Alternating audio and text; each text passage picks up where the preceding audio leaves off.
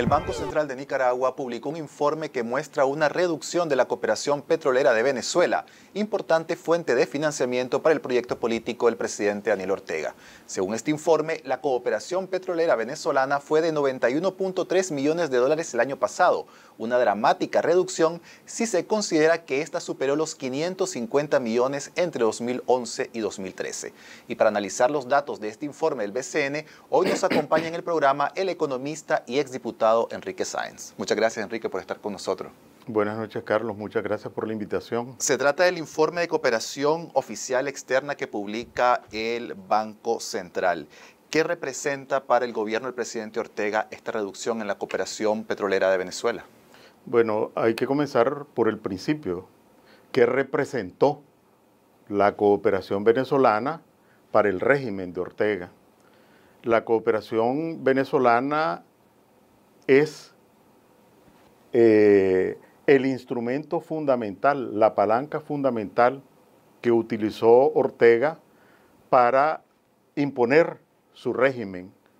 Sin la cooperación petrolera venezolana no habría sido posible que tuviéramos el régimen que tenemos, porque esto le permitió a Ortega, en primer lugar, constituir un grupo económico poderosísimo que recibía más de 500 millones de dólares anuales líquidos, físicos. Eso no es cualquier empresa en el mundo que puede darse el lujo.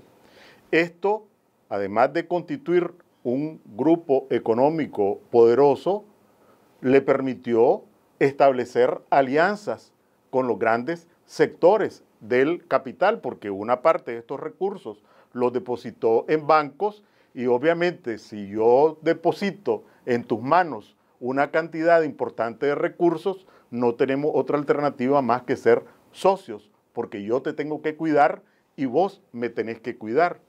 En tercer lugar, le permitió a Ortega recursos para comprar conciencias, para comprar voluntades y apoderarse del control de toda la institucionalidad del Estado. Y en cuarto lugar, le permitió disponer de recursos para eh, distribuir en la clientela política con programas asistencialistas.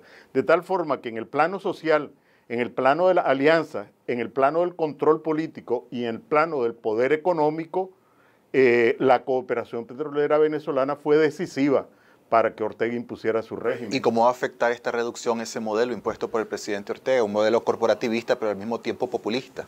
Bueno, eh, ya lo estamos viendo y la gente ya tiene que sentirlo en sus bolsillos, ¿verdad? Eh, porque antes de Semana Santa, solo para señalar un ejemplo, el régimen recetó a los usuarios del transporte intermunicipal una alza en las tarifas. Ya sabemos que quienes utilizan el transporte colectivo intermunicipal son los sectores de menores ingresos. Eso fue un golpe directo a los bolsillos de los sectores de menores ingresos. ¿Por qué? Porque se acabó el subsidio a buena parte del eh, combustible. Además, se acaban los recursos para seguir acumulando eh, capital. Entonces, ¿qué hacen? Como controlan algunos negocios claves como la energía y eh, el combustible, para hablar otra vez de combustible, entonces no imponen esta vez a toda la economía nacional y a todas las economías familiares los precios más altos de combustible de Centroamérica y además unas tarifas elevadas. Entonces, esto que están dejando de percibir por la vía de la cooperación petrolera, lo están sacando, lo están compensando con los altos precios del combustible, porque ellos controlan el negocio, y con las tarifas eléctricas. No es suficiente, ¿verdad? Pero, pero, pero al menos eh, tienen esta válvula para seguir esquilmando los bolsillos de los nicaragüenses. Ahora, ¿cómo se explica esta reducción? ¿Cuáles son las causas? Estamos hablando de una caída en los precios internacionales del petróleo, estamos hablando de la falta de eficiencia, por ejemplo, de la estructura de PDVSA para producir o seguir produciendo petróleo, la crisis política que está afectando a Venezuela.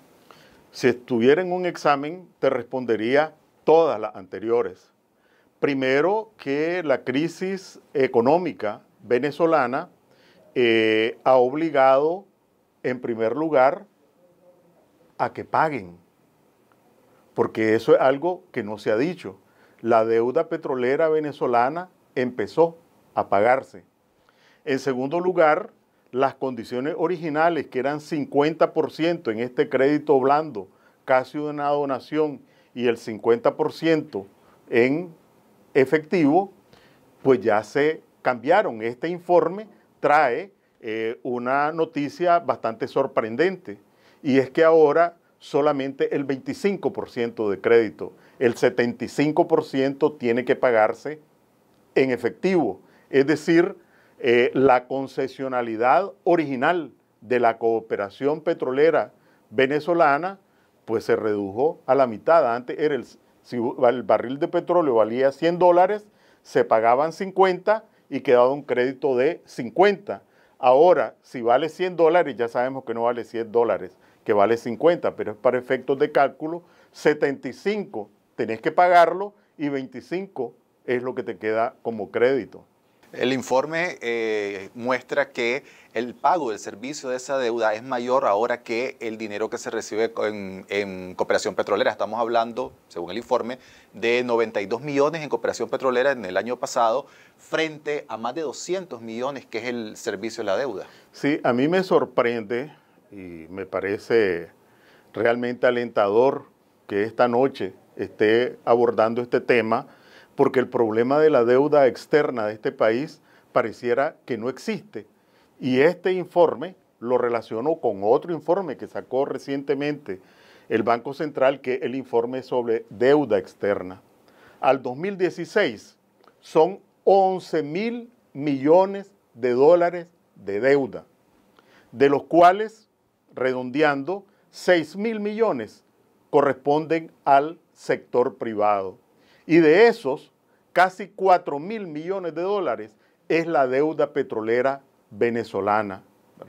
Entonces, el peso de esa deuda va a ir aumentando año con año, porque como decíamos antes y lo estás mencionando ahora, ya esa deuda empezó a pagarse. Uno tiene que escarbar y me alienta también que me decís 200 millones de dólares porque escarbar en la estadística del Banco Central, porque tienen escondido esto de las relaciones financieras con Venezuela, igualmente yo encontré que eh, lo que se le está empezando a pagar son alrededor de 200 millones de dólares. Y es una cifra que va a ir subiendo porque los vencimientos van subiendo. Esto significa que el flujo negativo es decir, la diferencia entre lo que te dan y lo que vos pagás, ahora ese flujo es negativo y efectivamente es un flujo que a mí me da de alrededor de entre 90 y 100 millones de dólares en el 2016. ¿Qué impacto va a tener para la economía a corto plazo ese desbalance? Bueno, uno, una persona tiene que ver, claro, obviamente hay diferencias, ¿verdad? La economía nacional como la economía familiar. En la economía nacional vos tenés ingresos y vos tenés gastos. Estos ingresos pueden ser las remesas, los resultados de tu trabajo, que son las exportaciones, los créditos que recibís, las donaciones que recibís. Y a nivel nacional también, los gastos son las importaciones, lo que gastás y lo que pagás en los créditos que has venido acumulando, igual como ocurre en una casa.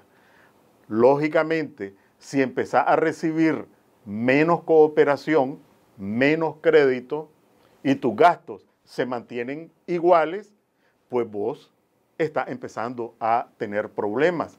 Entonces, eh, esto de que los flujos empiecen a ser negativos significa que tenés que empezar a afectar tus reservas internacionales, tenés que empezar a reducir tus gastos, como efectivamente ya, ya no hubieron los buses, ¿verdad?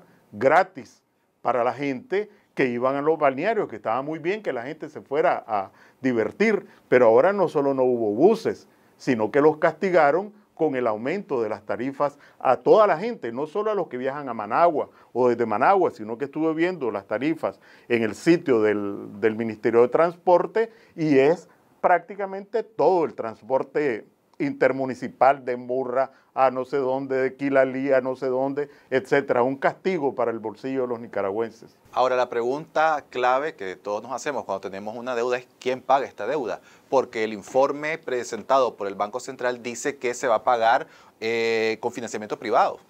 Sí, aquí yo creo que eh, es momento de emplazar a Daniel Ortega a Daniel Ortega y a los cómplices de Daniel Ortega sobre esa deuda de alrededor de 4 mil millones de dólares, que ellos la recibieron de manera fraudulenta como deuda privada, como recursos privados que administró eh, Caruna. Y en los informes del Banco Central, cada año colocan que es deuda privada que va a ser pagada por los deudores privados. Pero ¿qué ocurrió? Que Maduro, con esto de la crisis política y económica, le impuso a Ortega que los activos y pasivos de Caruna pasaran a Albaniza, es decir, deuda y propiedades. ¿Y que Albaniza? Una empresa que está formada por dos empresas públicas, PDVSA de Venezuela y Petronic de Nicaragua, la empresa importadora de Nicaragua. Entonces Ortega tiene que explicarle al país que, y asegurarle a los nicaragüenses que esa deuda efectivamente va a seguir siendo deuda privada y no la va a descargar sobre las espaldas de los nicaragüenses, porque eso sería un acto criminal que cancelaría cualquier posibilidad de desarrollo de este país. Y antes que caiga Maduro, Ortega lo que debería hacer es viajar a Caracas para lograr que Maduro, antes que caiga, condone esa deuda. Porque aunque siguiera siendo privada, de todas maneras es una hipoteca sobre la economía de este país. Ya representa la deuda externa total de 11 mil millones de dólares, 86% del Producto Interno Bruto, que si lo miráramos en términos médicos, es un parámetro que en economía ya quiere decir que el enfermo empezó a tener fiebre. Enrique, según información oficial, un 38% de este crédito petrolero ha sido destinado a proyectos sociales, como el subsidio al transporte u otros proyectos de, eh, promovidos por el gobierno del presidente Ortega. ¿Qué ha pasado con este subsidio? ¿Qué ha pasado con estos proyectos en comparación con esta caída de la cooperación petrolera? Bueno, como mencionaba antes, durante el periodo de esplendor de esta cooperación rondó los 550 millones de dólares. Llegó hasta 558, 560 en el 2013. pero todavía hace dos años fue 450 millones de dólares. Bueno, cuando esto se te reduce, pongámosle pues vendaje a 100 millones de dólares para facilitar el cálculo, obviamente vos ya no podés disponer con la alegría que disponías o con la irresponsabilidad. Entonces el subsidio al transporte se acabó y ese es parte de los problemas que tenemos que ver hacia el futuro, ¿verdad? Porque al disminuir estos recursos solo hay tres alternativas. Uno, cortarlos, como efectivamente se han estado cortando. Otros que tienen un costo político evidente, muy elevado, se transfieren al presupuesto general de la República, como ya ha ocurrido con el subsidio del transporte, con el bono eh, solidario, etc. Y si vos lo incorporás al presupuesto,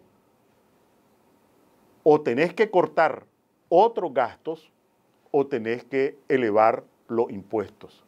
Entonces, este desplome a 100 millones de dólares, 93 millones de dólares, habrá que ver qué ocurre el próximo año, ¿verdad? Porque este es un impacto eh, que se genera en el 2016, pero que lo vamos a sentir de aquí para adelante. De hecho, y lo repito, ya este golpe a los bolsillos de la gente de menor ingreso que se moviliza en autobuses tiene que ver con esto.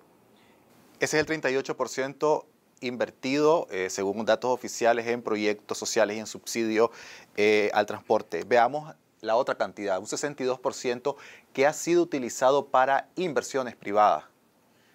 Bueno, eh, le llaman el Fondo Monetario con fines de lucro.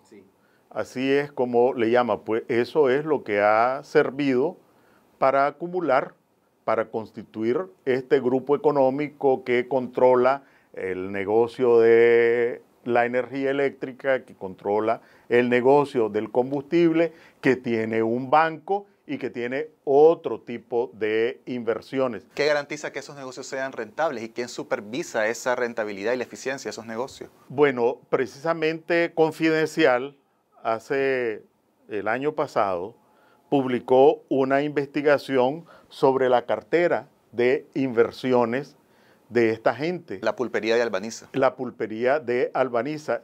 Y allí es tragicómico, porque es cómico, pero es trágico, que, que cultivo de gusano de seda. para decir algo, ¿verdad? Unas cosas absolutamente disparatadas porque pensaban que el comandante Chávez era eterno, que este chorro de dólares era eterno y lo han administrado con irresponsabilidad sin ningún sentido empresarial.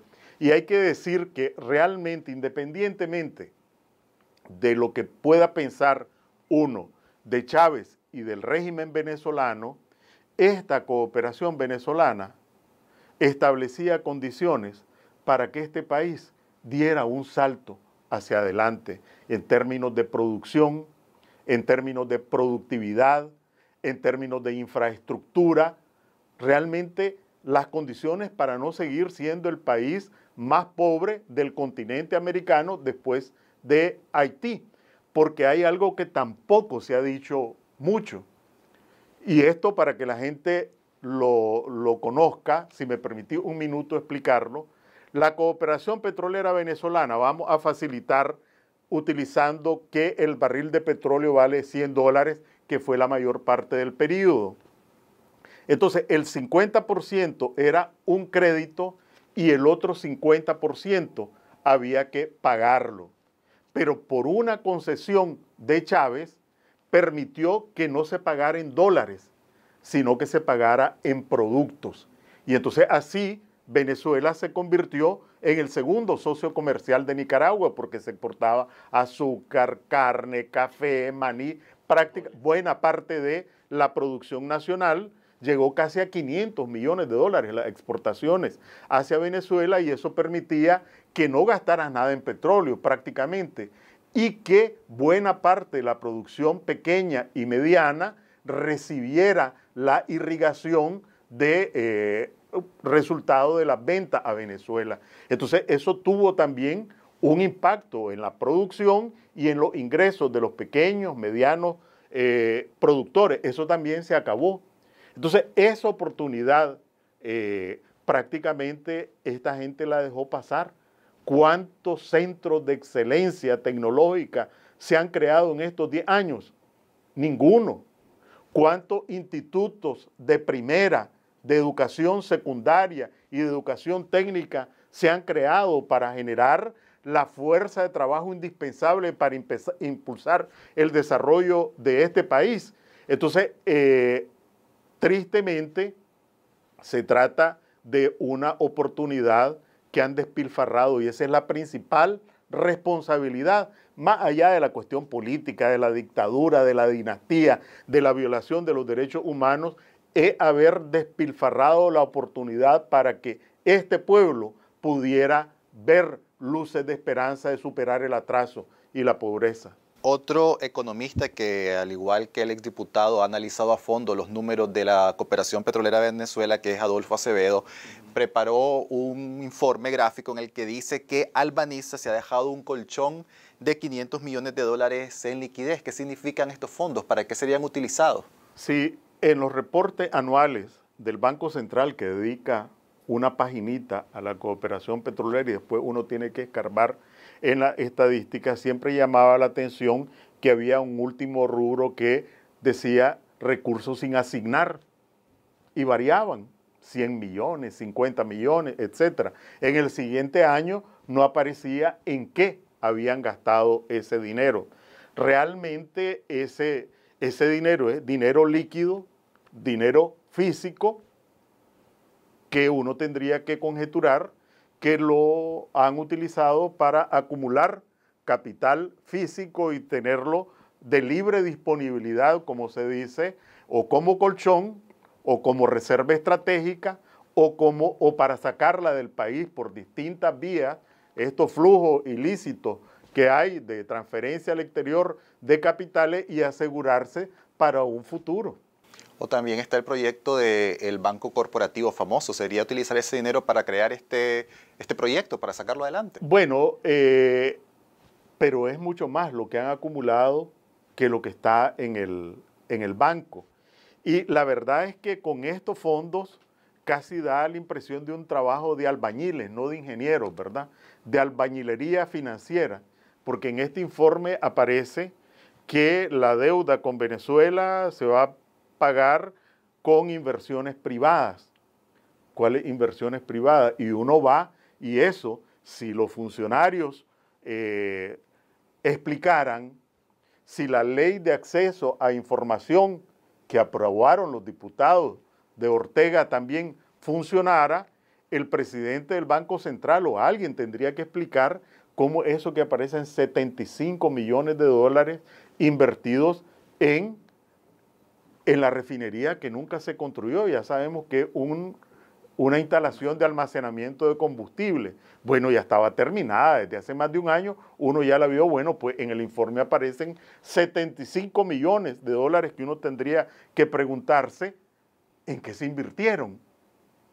Entonces, hay una serie de juegos y de rejuegos aquí, pero al final lo que queda es el monto de la deuda, que ronda los 4 mil millones de dólares, el pago de esa deuda que ahora la tenés que pagar, y si cae Maduro, un nuevo gobierno efectivamente tendrá que pedirle cuenta a Ortega con mucha menor eh, flexibilidad que Maduro, ¿verdad? Porque aunque ha disminuido la flexibilidad de Maduro, porque ya tenés que pagárselo, tenés que pagarle la deuda, tenés que comprarle en cash y te redujo la concesionalidad del 50% al 25%, obviamente otro gobierno no tendría la misma flexibilidad con Ortega. Analicemos la parte eh, política. Estamos en un año electoral. Hemos, usted mismo lo ha dicho, eh, parte de este dinero se ha utilizado un 38% para lograr favores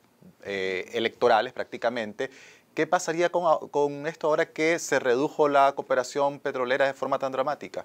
Bueno, yo no sé si tendríamos que llamarle año electoral, porque año electoral supondría, uno, que hay un árbitro imparcial y en consecuencia que asegure el resultado de las elecciones, que hay una participación amplia de las organizaciones políticas y en consecuencia que hay pluralismo que el, régimen no tiene controlado el sistema electoral y que en consecuencia se van a contar bien eh, los votos y que hay oportunidad de observación electoral nacional e internacional. Ninguna de esas cuatro condiciones existe. Pero el gobierno y el Frente Sandinista siguen manteniendo este sistema electoral como una forma de legitimidad hacia afuera del mandato que tiene el presidente Ortega y que tienen los municipios que hasta ahora han gobernado. Bueno, una legitimidad cada vez menor. Eh, y uno empieza a ver los síntomas de esa legitimidad. Eh, Venezuela, que eh, hizo elecciones, que contó los votos, que dio participación a las fuerzas opositoras y que admitió el triunfo en las elecciones legislativas, ya perdió toda legitimidad. 20 eh, países en el marco de la OEA eh, se pronunciaron en contra de este régimen porque hay otras fuentes de legitimidad que no son necesariamente las elecciones y Ortega ahí va detrás nos queda poco en la misma fila. Nos, queda ya eh, poco tiempo para seguir analizando este tema que interesa mucho mm, periodísticamente, pero también en las audiencias. La pregunta es, de suspenderse o de terminar la cooperación petrolera venezolana, ¿Nicaragua puede subsistir? Bueno, eh, hay distintos factores que están empezando a desalinearse a Ortega.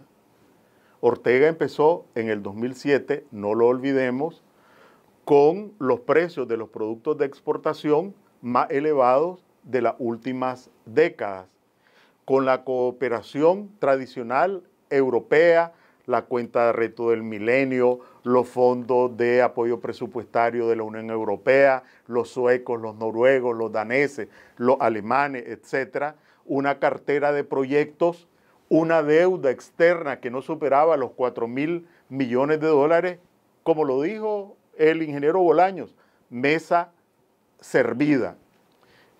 En los últimos dos años se le ha desalineado, las exportaciones empezaron a declinar, estos meses están repuntando, no se sabe cómo vamos a terminar, pero del año pasado a este se dejaron de percibir en concepto de exportaciones 200 millones de dólares. En este informe de cooperación externa se refleja que los flujos de cooperación privados y públicos disminuyeron casualmente también en 200 millones de dólares.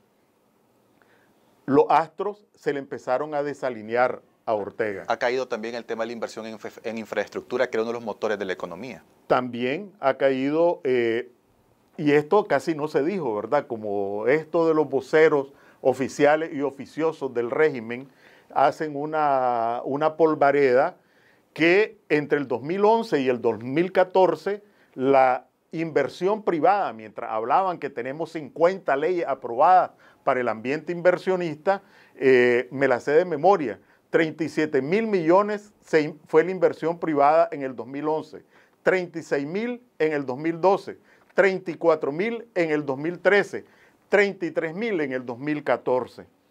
Y no hablamos de otro tema que está relacionado con esto, que es el costo de la corrupción.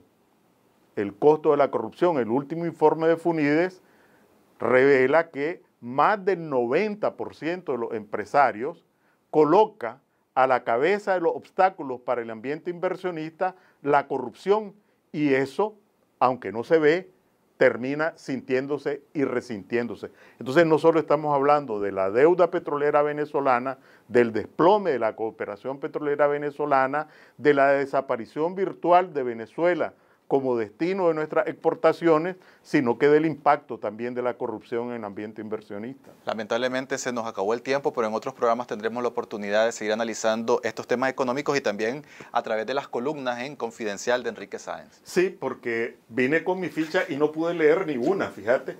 Bueno, mañana. en la próxima. Y mañana los lectores y la audiencia de esta noche podrán leer la columna en confidencial.com.ni. Muchas gracias, Enrique. Gracias a ustedes. Thank you.